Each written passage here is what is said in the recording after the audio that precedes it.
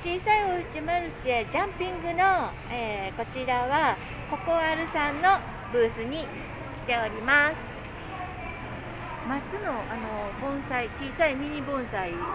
えー、8年ぐらい手掛けられてる方のようなんですけれどもこれさっきからこうキラキラあの日が当たってあのすごい素敵に見えておりました。はい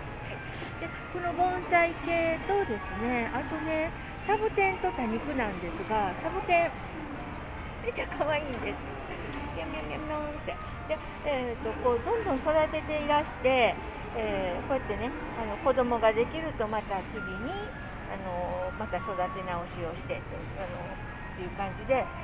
育てるのがすっごく楽しいっておっしゃってました。で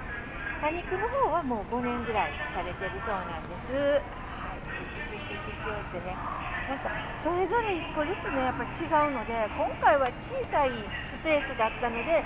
いつもの10分の1ぐらいしか持ってこなかったっておっしゃってるんですけどなのでいろんな種類をポテポテっていっぱいって持ってきてはります。それでですねもう育てるの大好きで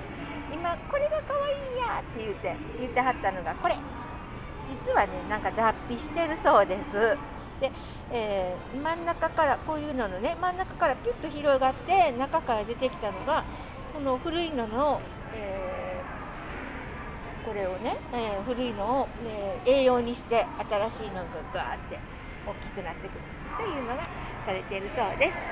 はいここアルさんのブースでした。はい。11日までやってます。いらしてください。